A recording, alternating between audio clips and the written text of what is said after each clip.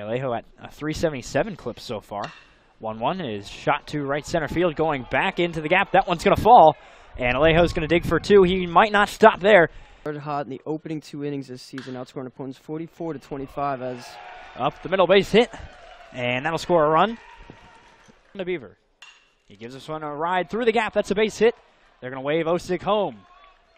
The throw is cut off, and the relay is not going to come. 3 2. Ground ball to third. This could be two. To second for one. Micah th- throw to first is in time. The 1 2. Osick gives this one a ride. Right field, slicing away from the right fielder. Looking up. It's gone. On a 1 2 pitch, Osick goes yard. a little bit. As this is a ground ball. Torres diving. Flipping to second for one. Over to first. In time. What a double play. See if he can get his third punch out of the evening. Here comes the 1 2. Got him swinging. Elevated the zone.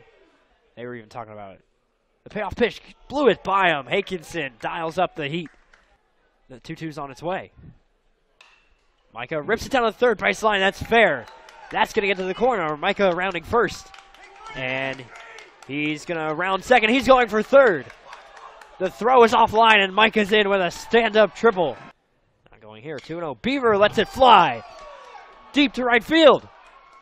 It's gone. It's set for the 0 2. Got him. Climbed the ladder and sends it back to the dugout swinging.